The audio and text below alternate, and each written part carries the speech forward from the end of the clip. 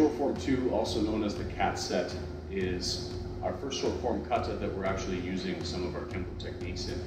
So it's important to realize that we will be drawing to a cat stance and using uh, different transitions to get to different angles. So make sure that you pause for a moment there to make your angles very, very clean.